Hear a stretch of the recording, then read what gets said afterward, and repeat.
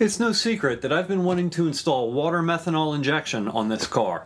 You may have noticed this water methanol kit that's been trolling around in the background of several of my other videos, and a few astute viewers have picked up on that. This is the AEM Universal Water Methanol Kit. The first thing that you should do before you begin is read your installation instructions cover to cover and be sure you understand them. If you have a problem with doing this, just put it in your bathroom, it'll get read eventually. If you have kids, it might even get flushed. Included in this kit, you get a long length of push lock poly hose, a slightly shorter length of silicone vacuum hose. Is that silicone? Sure, it looks like it. A slightly shorter length still of some convoluted tubing for the interior harness, the water methanol controller with about 10 feet of wiring harness, and some type of rubber gasket thing, and I'll, I'll figure out what this is later.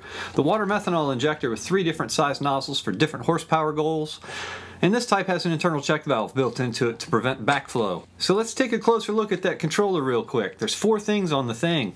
Test, start flow pressure, and max flow pressure dials, and an error light. All the error codes and references and short descriptions for what all the wire colors are for are printed right on the controller box. Also included are crimp connectors, zip ties, and a bag of hardware that AEM thinks that you'll use to install this kit. Now, the reason I wanted to use this kit was because of the kind of pump that it included. This is a 200 psi variable flow pump with an internal bypass. It offers a more even and predictable flow rate because it doesn't pulse like the older pumps do. And of course, last but not least, there's the water methanol tank complete with a low fluid sensor, airtight cap, and a swiveling push lock connector output to connect it to the pump. Don't ever attempt to tighten that fitting on the bottom of the tank. It has a methanol safe sealant applied to the threads and it'll create a permanent leak if you do.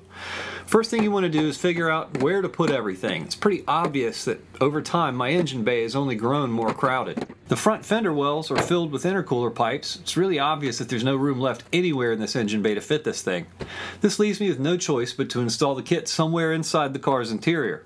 But first, before I begin, I wanted to go drag racing again to play with launch control, and my last video's passes were made without the passenger side headlight in it that blocks the air filter. This is the air filter I bought back in 2004 for my GSX, the air filter that everyone's been begging me to replace. You mean they're not supposed to last 14 years? So yeah, why not? Daggone it, I screwed up. This filter's bigger. The length is right, but the diameter might be a problem for me. My old filter touched the headlight, might be too big to put the headlight back in. It's not too big to race with though, so I'm putting it back in right now and going racing. Since the video is about water methanol injection, I put the drag pass up on Patreon for the generous people who are invested in my progress. Occasionally I'll do this. My channel has a plot, and sometimes before the next chapter begins here on YouTube, I might shoot something else that's on topic with the last video, or find an old video or something that's relevant to my work where maybe I'm not proud of the footage or it doesn't follow the channel's plot. I don't do it often because the main channel's videos take so many resources for production and that's what my patrons are really trying to help me with in the first place. I offer no apologies about this because those videos take time to produce as well. My sponsors on Patreon are how I've managed to stay in all of your feeds, so tell them thank you when you see them. But anyway, I'm back now, had a blast. Back to water injection. After walking around and scratching my head for a while about where everything's going to go, I decided the included fastener kit was mostly useless for me. There are a lot of holes for mounting all the parts, and I didn't see the fasteners that were long enough or plentiful enough to use all the holes. So I went to the hardware store and bought all the fasteners for about 20 bucks so I could use all the holes. You got to pay extra if you want to use all the holes. I think I figured out some scrap pieces of steel that were laying around inside my garage that'll work for mounting the tank and the pump. Of course, what else would I do? Some of them you'll recognize from other videos, and I also bought an AEM micro relay and this socket kit because I want to improve the functionality of the failsafe circuit with my car's modifications. Just be advised that if you want to make use of this kit's built-in failsafe feature that you'll need to buy other stuff to go with it. it wasn't bad, it's like 20 bucks. The instructions made a whole lot of hoo-ha about installing a dash mountable LED as if it was included, and it's not. So I bought one of those too for like seven bucks. At least the instructions in the controller box include all the things to help you buy and install one.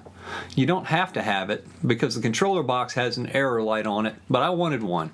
There was foreshadowing about this installation in the last video regarding where I'm going to put it, but I need it because the controller box is not going to be visible from where I'm installing it. Let's take a look at that location, shall we?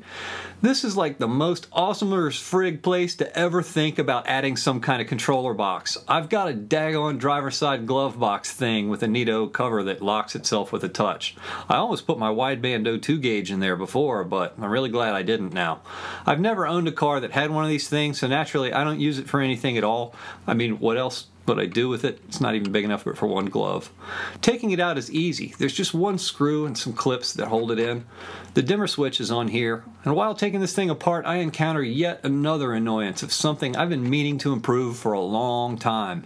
The dang boost gauge wires are just crammed in the back of the dimmer switch. I mean, I'm cool with how it was installed. It, I, it never had a problem, never shorted out on me or anything, but what really is a problem is the boost gauge itself. Look at what I'm doing here. The button changes color on the gauge face. And it has several to choose from. But every single time you turn the headlights off and back on again, the boost gauge is now green. It resets, it goes back to it. It doesn't remember where you left it. The gauge face color is really a stupid problem to have, and I know it's just an installation problem that I could easily fix, but there's something that you might not know about me. I hate boost gauges. I think they're a complete waste of money. I went through a phase where I thought they were important, but they're not. The minute you install a map sensor into your engine management system that lets you log your boost, a boost gauge becomes useless and irrelevant. First, you never look at the thing while you're driving. Second, you'll never remember precisely how much boost you had at any given RPM or at every given RPM at whatever speed or gear or anything else while you're looking at your logs. Next, you should have a pressure gauge on your boost leak tester or a regulated air supply for boost leak testing. You don't boost leak test from the driver's seat. Boost gauges add clutter to the interior, but the absolute worst thing about this boost gauge is that it obstructs the check engine light from my view, making me have to lean sideways to drive on the track so I can watch the check engine light for knock warnings. What good is a boost gauge if it makes me miss my warning light and toast my engine? I log boost it makes for much easier couch tuning. I have warning lights that I want to see here that are a thousand times more important than a boost gauge. So goodbye boost gauge, you will not be missed. I just twisted the boost gauge off the steering wheel bezel. Apparently some kind of construction adhesive was used to just stick it down and I'll have to figure out how to get that off later if I care about it. The only thing this boost gauge is useful for to me is that there's already a vacuum hose pulled right here to this location that I can plug the controller box into. Man, that was really convenient. It needs a boost source. That's a huge time saver. So anyway, let's cut a hole in this thing for all the stuff on the controller box to fit through. Now, I don't want to butcher this thing, so I figured I'd start with a small hole using a cutting disc, and then slowly make the hole bigger with less aggressive tools as necessary. This is the side that the dimmer switch goes on, so I have to think about where the wires and cables are going to fit here and inside the dash.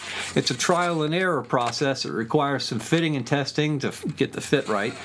Using an adhesive on the boost gauge sort of gave me an idea to use one to mount the controller box. I mean, why not? It's feather light, flat, smooth, doesn't make sense to use screws, and I couldn't get a screwdriver in here if I wanted to. On the dashboard side of things, there's a chunk of plastic that kind of interferes with the things coming out of the controller, that you know, where that lines up. A quick pass of the double cut carbide burr made plenty of room for what I've got protruding from that bezel. Problem solved. Now let's see how this thing fits. Man, that looks great. Whoops. Ah. Okay, it's held in with one screw. I can't cheat here. I taped the dang box down, but that was a mistake. At least doing it in that order was a mistake anyway. It's blocking the hole for the screw, so I can't secure the bezel onto the dash. I should have paid better attention to that. I guess I need to complete the rest of the install first and then tape it down. According to the instructions, some of the wires attached to the controller box connect to the pump and to the reservoir, and some of them need to go inside the dash near the front of the car. After I figure out what everything is, I separated the wires into two separate bundles and installed convoluted tubing on both runs of the wires. The short section included in the kit I'm using for the short dashboard run. And I happen to have a ton of this convoluted tubing stuff left over from the earlier wiring harness work on this car, and I'm going to use that to cover up the long run to the back of the car. Fortunately, the convoluted tubing they included fits the same profile as the stuff that I already have. What you do here, where it forks, is you just put the two sections of convoluted tubing with the slotted sides facing each other just before the junction, wrap one of them all the way around the other, and press the convoluted tubing's grooves into the pieces adjacent to it. Tape the outside of that joint. Go about an inch down the joint before the junction and then tape around each leg of the junction and then back up onto itself. Voila! Neat and tidy harness junction. Who cares though? Let's go fit this thing back into the dash and run the wires where they belong. In order to route them where they need to go, I first need to remove the kick panel. We've been in here before back when we installed the wideband sensor, so it's probably familiar to most of you. The kick panel is backed in styrofoam and it's sort of obstructing where these wires go their separate ways, so I used a razor knife to trim a channel out of it so as not to chafe the harness or put any pressure on it. Next, I ran the harness through the dash, cut the old end of the vacuum hose off to make a clean connection to the controller box, plugged in the vacuum line, and popped the bezel in. Put the screw in, put a new piece of double sticky tape on the controller box, but I didn't peel it off yet. And I'm going to change up the program here a little bit. This green wire is the failsafe wire from the controller. It pulls ground when active. I want that inside the dash, nearish to the ECU. We'll come back to that when we go into advanced mode later. Moving on, before I can pull the rest of the wires through the dash, I have to pull everything I just did in the last video right back out again, while giving myself a big pat on the back for not having to mess with the stereo and using bullet connectors so I can easily remove everything. If you're your own mechanic, do your repairs and modifications in a way that makes them easy for you to work on. It's worth the effort. With all that stuff out of the way, I pulled the dash connectors to the gauge hole and the pump and tank wires through the center console to the back seat underneath the carpet. With the back seat and door trim molding removed, it's easy to pull the wires to the trunk of the car, unseen. Small problem though, I think they're too short. Should be easy enough to fix. I made a mess. We've got a debris problem on the set. Fixed. Might as well put the center console back in because we're done pulling wires. Stay tuned later for when we pull hoses. I'm sorry about that. Had to kill the mic there for a second. That is actually a part of this job, and I'm not looking forward to it either. I have to put this tank in here somewhere where it will be easy to fill, where it won't interfere with the trunk hinge, and in a place where it won't get damaged if anything ever starts flopping around back here. I intend to make a mount for it that won't let anything flop around back here or get damaged, and it's going to probably end up matching the engineering style of the battery tray. I really don't feel like explaining it. You know what all this stuff is already. This sounds like a perfect excuse to drop a fabrication sequence steeped in Rojo del chocolate sauce.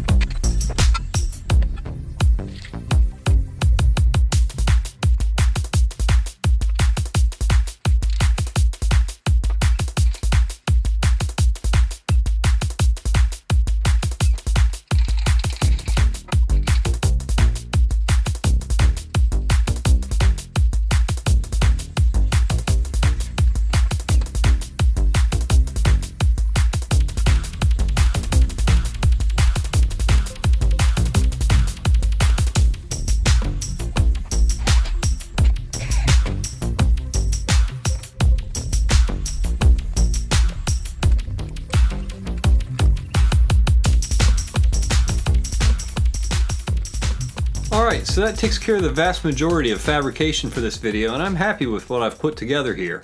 Now it's time to move on to the wiring portion of this install. The first problem I have to overcome is the wiring harness on the controller is not long enough to reach all the stuff that it needs to connect to. So first I have to add some extensions to bridge that gap. The wires that power the pump are 10 gauge, so I used an 8 gauge wire for the run to the battery positive connection. I used a black 12 gauge wire to extend both the black wires coming from the fluid level sensor because that's what I had. With that sorted out, I carefully wrapped up both legs of these circuits in convoluted tubing to keep things nice and tidy. Oh, and I installed the low pressure feeder hose from the tank to the pump, just because, because why not? The next thing we have to do is bolt the stuff down to the thing. I only use two bolts for this because why complicate things? They're 3 8 inch bolts and each bolt requires more than 800 pounds of force to cause a failure. Should be enough. They'll rip through the floor pan before they ever see that kind of load, so there's two harnesses that I need to put together back here. Looks pretty innocent and easy, all wrapped up like that. I wish I could just leave them that way, but they're not going to install themselves and I don't have an intern, so I guess I have to be the one to make sense of all this. The fluid level sensor. It's a float switch, so it's either on or off. Polarity doesn't matter for this. The brown and white wires from the controller connect to the wires I extended from the float switch. The orange wire is the pump controller wire. Basically, it's just a variable resistance ground. I used a spare 12 gauge red wire to connect the orange wire to the black wire on the pump. All you need to know is that the orange wire connects to the black pump wire. The red wire. Okay, it's complicated, at least it is in my video. There's only supposed to be two red wires in this kit. The controller and the pump red wires are both supposed to connect to battery positive. Why make an extra splice on a DC power circuit when I can jack this sucker in right here to this 8 gauge pump extension that's already going to the same place? I don't like doing it this way, but all these wires are connected to the same modification, so I don't mind. I could run these all the way to the front of the car where the battery is, or I could just connect them right back here to this big zero gauge run that's already doing that for me. Also in the wire bundle I pulled back here is the ground wire. It's only one measly 14 gauge wire and I don't know how it does it, how it grounds the pump, the controller, the LED, the relay, and its own built-in map sensor all off of this one tiny 14 gauge wire. I extended it with some 12 gauge, put a ring terminal on it and bolted it down to the same ground where my fuel pump connects. Then I put a ring terminal on the power wire and nutted it down to the circuit breaker that's feeding my fuel pump. If the fuel pump has power and ground, then so does the water methanol kit. That's the way you want it. In an earlier video I installed relays to switch power on to all my gauges and accessory outlets. I'm out of power outlets from my previous work, so I'm having to make a three-way splitter to handle the additional power connections up front with this water methanol kit. One of them is needed to connect to the dash LED, which I may need to disconnect if I ever need to work inside the dashboard. Another is needed for the system activation, and also a power wire to the relay that you saw me unbox earlier. The third leg plugs into my autometer gauges.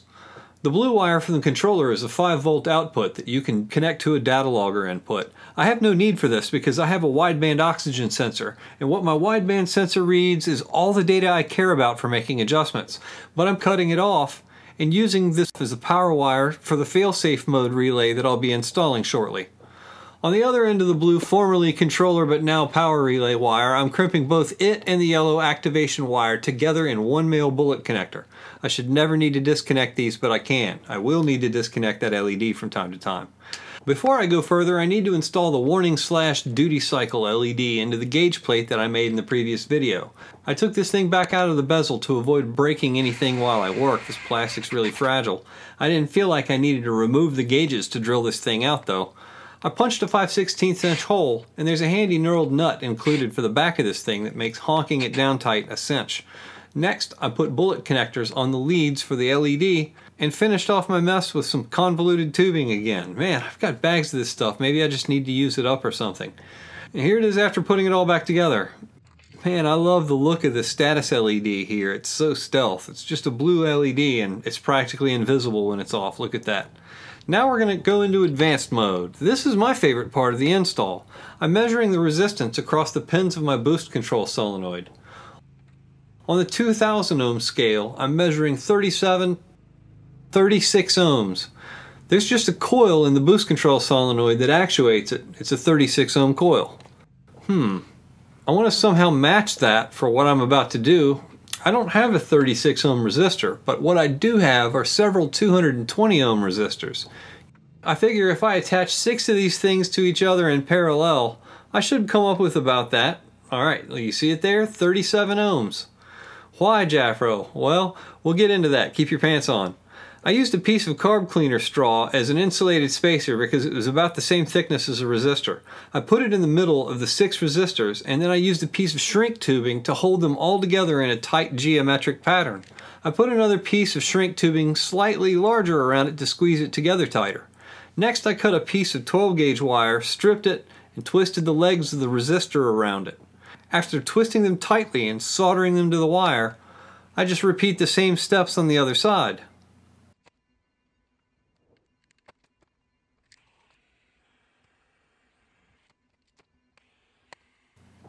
I know I'm going a little bit over the top here with the shrink tubing, but this is a power wire, and a homemade inline 37 ohm resistor is a little bit weird. Normally these things are connected to a breadboard or soldered to a circuit board, but I don't think there's any reason why this won't work for what I need to do. Resistors are thermal devices, but there's six of these things in parallel, so it shouldn't get that hot. If they do, maybe it'll just make the shrink tubing tighter. I don't know, we'll find out.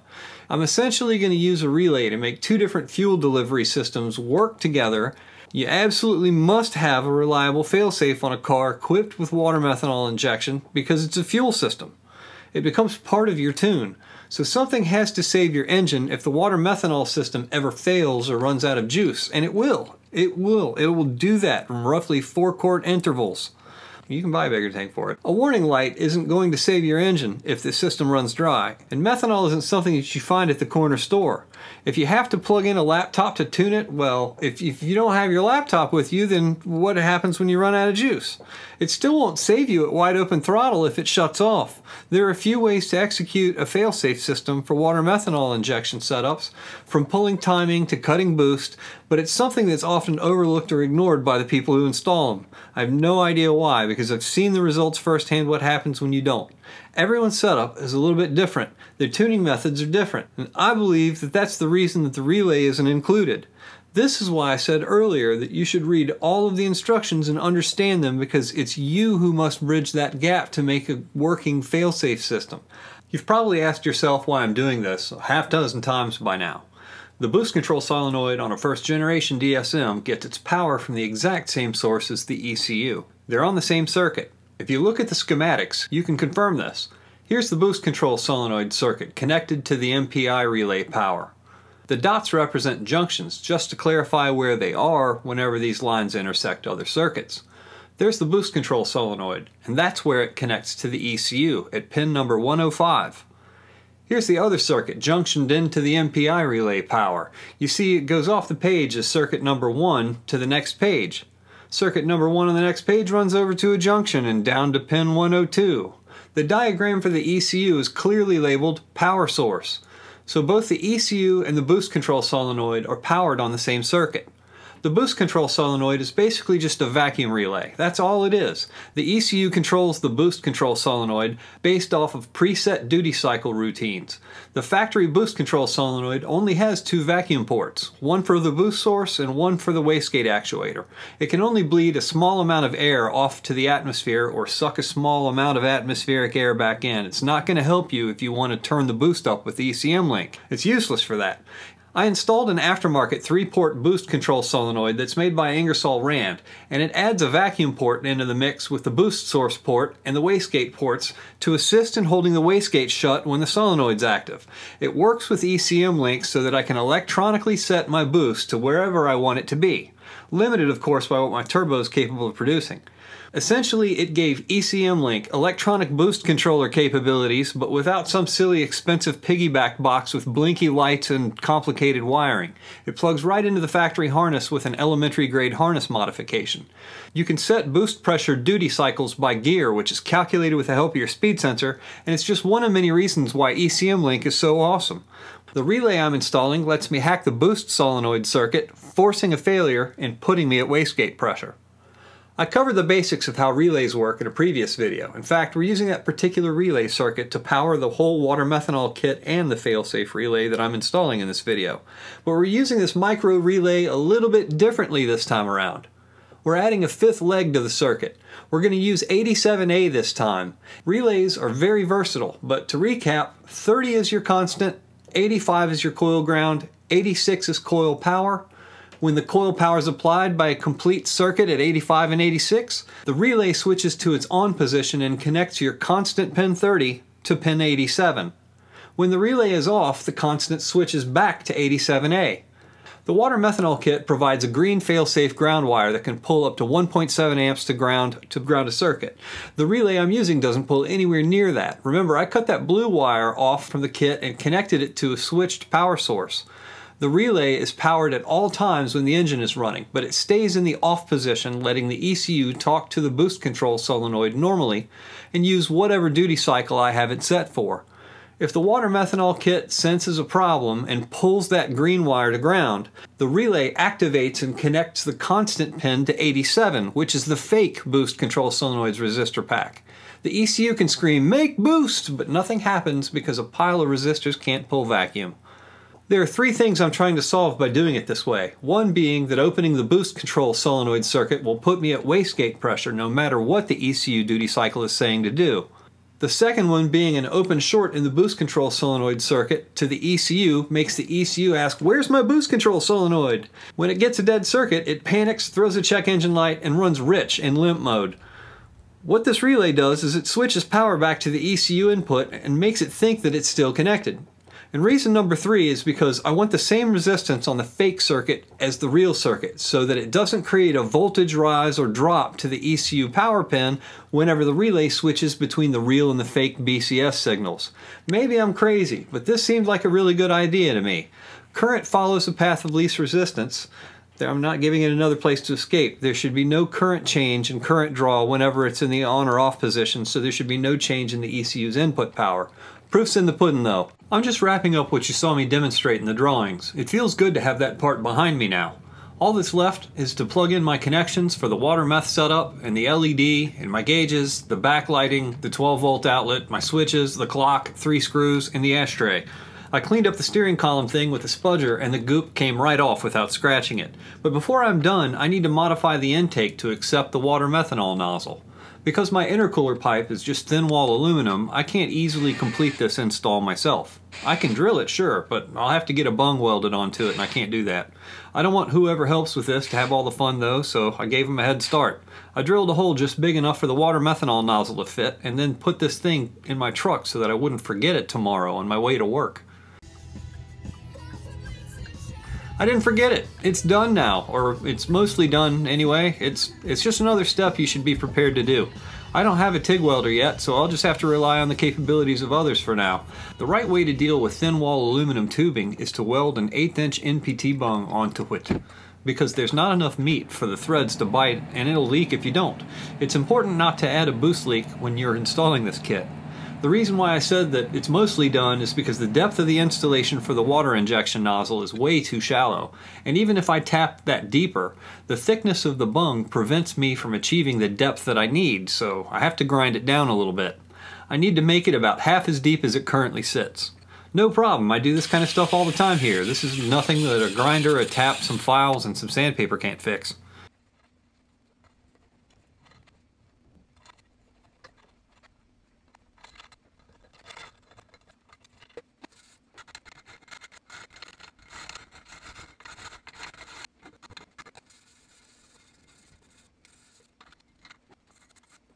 It's a little bit hard to see without a camera that fits inside the pipe, but the nozzle is situated just below the depth of the wall thickness when the nozzle is just finger tight. I didn't want it mounted too shallow in the hole because of its spray pattern. I don't want it to spray onto the threads and pool inside because the nozzle's mounted on the bottom of the pipe. We'll take a look at that spray pattern a little bit later. Right now I want to go over the nozzle parts though. I think that this is a 40 micron filter. It's there to prevent junk from clogging up the nozzle assembly. It's a serviceable part, meaning that you can take it off and clean it if it ever does get clogged. Be careful not to damage it because it doesn't come with a spare. Inside the filter you'll find a spring and a plunger. This is the proverbial thumb on the garden hose that makes the water pressure exit with velocity. Don't drop and lose these parts because there aren't spares for these either. If you look carefully, you'll see that the plunger is fluted on its beveled edge to create a turbulent vortex behind the nozzle to encourage better atomization in front of the nozzle. The check valve assembly is actually in the black section of this part. It's there to ensure that the boost doesn't push your methanol charge back up the hose and into the tank. It comes with the medium-sized nozzle pre-installed in one of the nylon washers where it belongs. The kit includes a section of nozzles for installation applications of up to 600 horsepower. There are parts available beyond what I'll show you in this video to expand this particular kit. The housing has a 5 8 inch hex, the nozzle fittings are 9 16 and the filter assembly is a 7 millimeter. Don't over tighten the filter. The instructions say to only tighten slightly more than finger tight. I'm using the wrench because I have big fingers and I don't want to damage the filter. This is not the latest technology or the most extravagant water methanol injection kit available as far as features are concerned, but it's a practical, well-rounded kit that should be more than enough to give my Turbo Elantra an edge that will carry me well beyond my goals. I'm just going to use the medium nozzle for now, but before I can install the nozzle, I need to install the hose, clean up and flush out the system.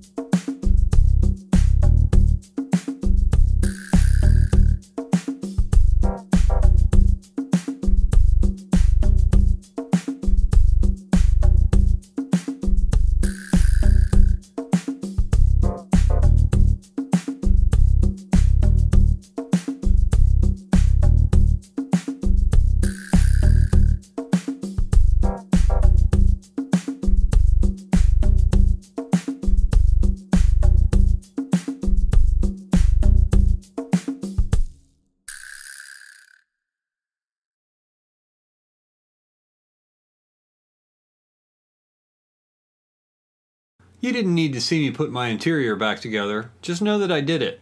The water methanol hose is concealed under plastic the entire length of my interior up to the front of the car, and I zip tied it down under the dash where nobody can step on it or kick it. I don't want it to get damaged. For the system flush, I'm just using distilled water because I don't want any of the minerals and chemicals from tap water inside this thing.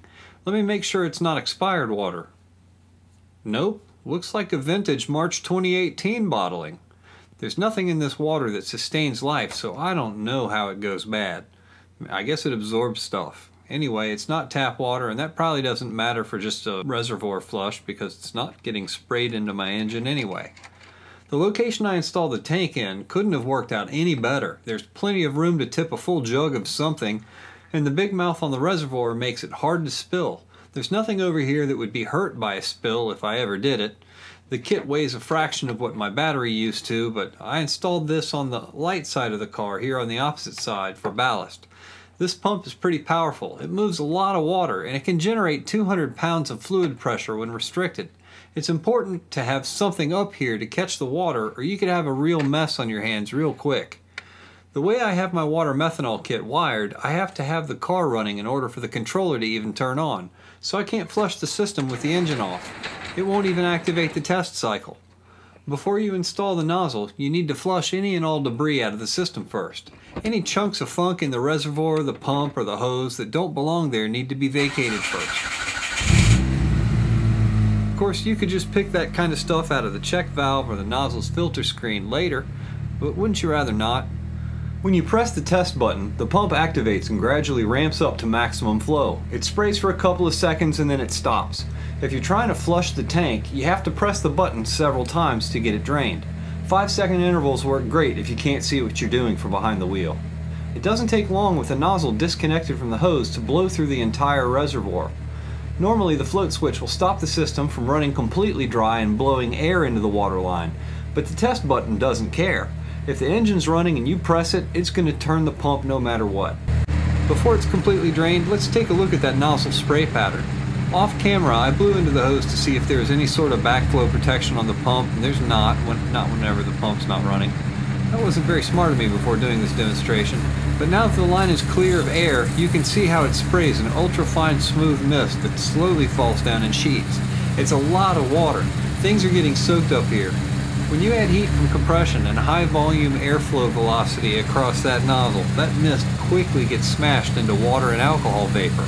When mixed 50-50 with methanol, the evaporating water absorbs heat from the intake charge, making it considerably denser and it leaves methanol vapor behind to stabilize the fuel and raise your octane. The denser air lets you fit more air inside the combustion chamber while also being able to run higher boost levels without risking pre-detonation or knock because of the alcohol vapor. So hopefully with some tuning experiments, this will answer whether or not the knock I've been experiencing is real or fake. I want my timing advance back. Now that the system's completely drained, it should be in failsafe mode. The error light is blinking both on the controller box and on the dashboard LED with the code 1 for low fluid. This is the condition where I want it to shut down the power and put me in the safe area of my tune. ECM Link uses RPMs and load factor to provide you with the correct airflow adjustments, fuel delivery, and timing advance. Load factor is exactly what it sounds like. It's how much load or resistance you're applying to the crankshaft at any given RPMs. Lots of things can affect load factor, but one of the things that makes the biggest impact with a turbocharged DSM is how much boost you're throwing at it. Boost provides a dramatic impact on load factor. I'm not using the water methanol kit the way it says to use it. If you remember, there's two knobs on the kit. One controls at what boost pressure it starts, and the other controls at what boost pressure it achieves its maximum flow. The way I plan to set the start knob is to turn on when the boost is above wastegate pressure. That means I'll be making adjustments to correct my timing and fuel delivery in any of those tables in the cells that have higher load factors than what my engine achieves at wastegate pressure. There are multiple reasons for this, and I'll tell you about them while we take the car out and get some data and test my failsafe circuit. If the failsafe circuit works, then I should only be at around 10 psi because the tank is empty and the relay should have the boost control solenoid pin on the ECU switched to the fake boost control solenoid circuit where it's incapable of raising the boost any higher than what my car's wastegate spring and boost creep capabilities can provide it with. All the cells at or below wastegate pressure are already tuned. I spent a while without turning the boost up trying to get those right, and they're in pretty good shape, but at higher pressures and with a 50-50 mix of water and methanol in the tank, the water methanol vapor displaces the volume of some of the air that would normally be in its place. So you're adding fuel with methanol, and you're also displacing some of the air volume with a non-flammable, incompressible water vapor. Also, when water cools the air intake charge, it becomes denser and therefore it's capable of fitting more air into the combustion chamber on each intake stroke. Methanol raises the octane level of the intake charge, letting you get away with more aggressive timing advance because the fuel supply is less likely to pre-ignite. It won't matter if it's my speed density table, my timing tables, or my open loop octane tables. The settings that can cook my engine at high boost levels will be unreachable in the event that boost safe circuit activates my failsafe relay when the bottle runs dry. And I'll be driving in the safe gasoline only portion of my tune at 10 pounds. The reason my failsafe is effective is because all of those tables are based on load factor. It's going to take some work to get that maximum flow knob set correctly for me to make the most of this kit. Just like it's going to take me a while to nail down the right timing, airflow, and fuel tables. But I wanted to give everyone this installation video to help anyone considering a water methanol kit to either buy the expensive failsafe add-on kit for it, or buy the more expensive comprehensive kit that comes with it, or you could just be like me and buy the cheap relay and use your head like I did to build a failsafe system that works for my application. The reason I stress this is because if you try to install one of these things without a failsafe, you lean out your tune and you'll run out of juice at high boost and wide open throttle. All the cooling goes away, all the fuel goes away, and that aggressive timing table that worked to make you lots of power with your water methanol kit will suddenly become your worst enemy. Things will get hot and go boom real quick if you have an aggressive timing map and a lean fuel mixture. It looks like my failsafe system is working perfectly because I'm at around 10 psi in failsafe mode. I'm proud of this work enough to call this installation done. I put links to the Wikipedia page for water methanol injection, links to my Patreon account for those interested in supporting my efforts here on YouTube, and of course there's the like, comment, share, and subscribe buttons that Google so thoughtfully placed down there for everyone. Subscribe and ring that bell if you want updates on this and all of my other projects, and until next time, stay tubed!